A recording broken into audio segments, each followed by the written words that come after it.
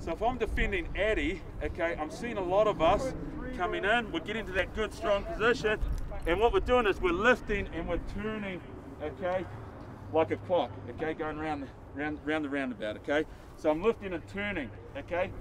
Trey had a really good, really good progression here where he tracked, hit his hips, boom, and he's taking him straight back to where this cone is. Why do we want to go back to where the cone is? Where he's come from? Away. Yeah, we're taking him back towards his own goal line, okay?